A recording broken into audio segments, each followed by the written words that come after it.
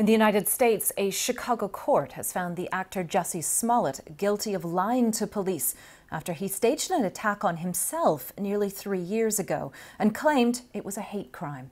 Smollett, who is gay and Afri African American, paid two masked accomplices to accost him in the street at night. Our North America correspondent Nomia Iqbal reports. He was once a rising star, but for the last three years, Jussie Smollett has been fighting for his reputation and career. Walking into court surrounded by his family, the 39 year old has always maintained he was the victim of a racist and homophobic attack. But a jury didn't believe him. After deliberating for nine hours, they found him guilty of lying to police.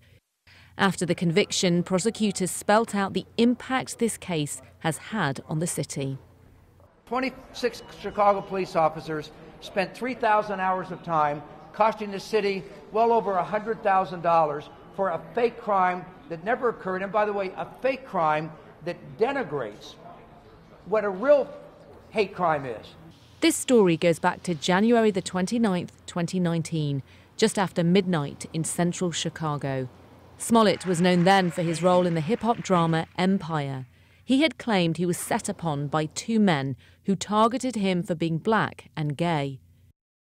There was huge support for him from celebrities and politicians, including the now Vice President Kamala Harris.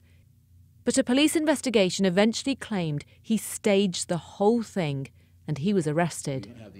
At his trial, prosecutors said he did it to boost his profile and help his TV career. The two alleged assailants, brothers from Nigeria, had originally been arrested but later released by police. They ended up being key witnesses, testifying against Jussie Smollett. They said he had paid them to carry out the fake attack, but he repeatedly told the jurors the money was for personal training sessions and there was no hoax. And still, his team continue to maintain that defense.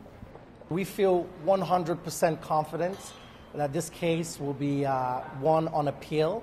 Unfortunately, that's not the route we wanted. Uh, but sometimes that's the route uh, that you have to take to win. Jussie Smollett now faces a possible prison sentence.